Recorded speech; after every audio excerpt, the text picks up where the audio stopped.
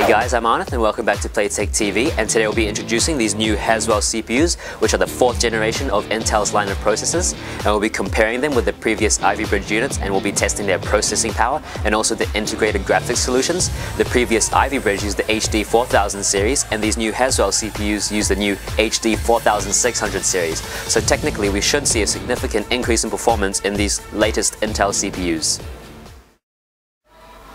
So today we have selected three of the new Haswell CPUs. We have the Intel i5 4430, which is one of the lower end solutions. And then we have the Intel i5 4670K, which is the higher end of the i5 range of CPUs. And then we have the i7 4770K. And we'll be testing all of these CPUs against the previous Ivy Bridge 3770K from the i7 range. So for the previous Intel processors, for the non-K version CPUs, you can still do a little bit of overclocking by adjusting the multiplier depending on which motherboard that you have. But for these new Haswell CPUs, you are restricted to the K version CPUs only if you want to work with the multiplier. So if you're serious about overclocking, be sure to get a K version CPU. So a new innovation for the Haswell CPUs is the FIVR, which is an abbreviation for a fully integrated voltage regulator. And this basically allows the CPU to regulate its voltages to a much finer degree, which keeps voltage ripple to an absolute minimum. And the benefit of this is that a motherboard will no longer require an external voltage regulator, which will effectively lower its cost. So unfortunately with every good comes a bad and in this case the integrated voltage regulator adds more heat to the thermal output of the CPU and it also raises the TDP and using examples the previous 3770K had a TDP of 77 watts and the new 4770K which we have here has a TDP of 84 watts. So one of the major innovations which is to be seen in some future Haswell processors is the new Iris integrated graphics solution. Now we don't have these in stock at the moment, but they are said to have much better performance than the previous HD series integrated graphics. So now we're going to show you a specifications list of all the CPUs we'll be testing head to head, so please feel free to pause the video if you wish to take a closer look.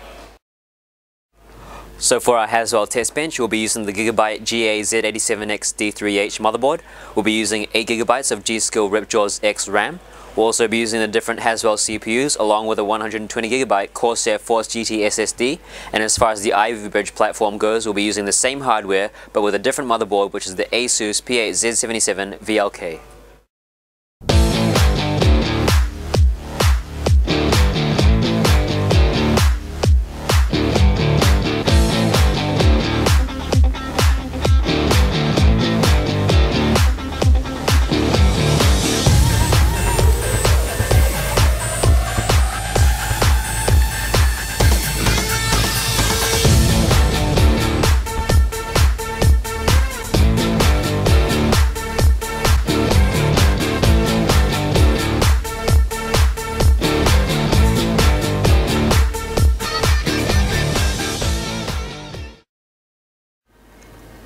So based on our results, the Haswell CPUs weren't too much better than the previous Ivy Bridge. The 4770K was slightly faster in SuperPI and it had a slightly higher score in Cinebench over the 3770K. So I guess it's safe to say that the Haswell was only about a 10 to 15% increase in performance.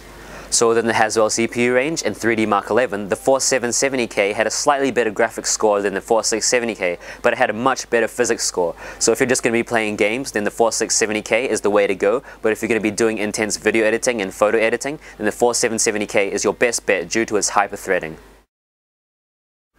The Intel Haswell CPUs use the new LGA1150 socket, so if you're looking to upgrade to these, then you will need a new motherboard which uses a Z87 platform.